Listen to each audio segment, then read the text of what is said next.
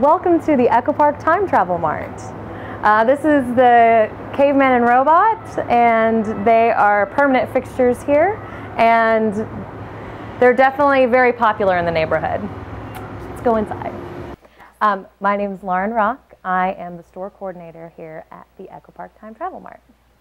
The store's been open since 2008 temporarily, but um, we get we definitely get a lot of, of people who come in here thinking that it's a set for a movie, thinking that it's an art project, thinking that it's a museum, which in a way it is kind of a museum art project that's also a functional store and also a tutoring and writing center for kids. We carry uh, products from the past and products from the future and time machine parts. So all of these hats are from different eras and they're really popular right now because right now in, in our year of 2012, it's summer. We have our beards and such wall. These are different facial hairstyles that uh, help you fit in in different time periods. Because if you go into uh, you know, the caveman era without a big giant beard, you're going to stand out like a sore thumb. We use a lot of uh, ideas that come from our volunteers. And what happens is people come up with the concept, and then we have uh, other people who design the product, and then we have a group of people who actually put the product together. So it's a group, uh, it's a group effort. Here are our donuts, which were fresh and delicious in 1985, but in this era you probably don't want to eat them. Uh, and we have robot emotions, uh, which help robots feel a range of human emotions, including envy and love and fear and gratitude and rage and time travel sickness pills for when you get nauseated when you travel. These are the uh, patron saint of time travel candles, uh, and they all have different philosophers on them as well as their uh, time travel uh, information on the back. They're really beautiful candles that have uh, that you can light to make your time travel safe. Robot milk is probably one of our more popular items.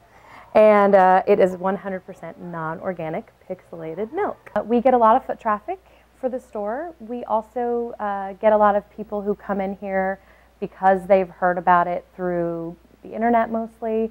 Um, we also get people who find out about us just through 826 uh, as an organization. People uh, like to visit the different 826 stores uh, when they are in those cities. Um, but we also get people who are genuinely fascinated by time travel and want to come in and discuss things with uh, the workers in the store. We don't always know how to uh, address it because some people come in with some pretty interesting theories. People like to come in here because they feel uh, a connection to time travel. People love the idea of time travel. People love thinking about going back to the past and fixing something or being able to visit the future. And we address that in a very whimsical, fun way. And I think that appeals to a lot of people.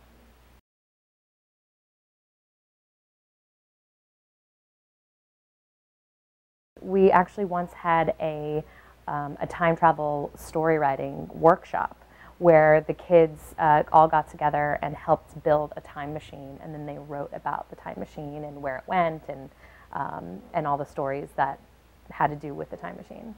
So the younger kids really just have a lot of fun, goofy ways of, you know, talking about time travel and talking about just anything that they write creatively about. These are all books that were written by the kids. So all of these books that you see here, um, right here, these were all written by our students and different students from 826 centers around the country. I think the kids really are affected by the fact that they are studying uh, writing and and learning how to express themselves creatively in a time travel store. Um, I think that some of their stories reflect that. They definitely reference the caveman and the robot a lot. Um, those have become icons for them uh, because that's where they, you know, they get to walk with their friends in the neighborhood and say, oh, that caveman and robot place, that's where I go write stories.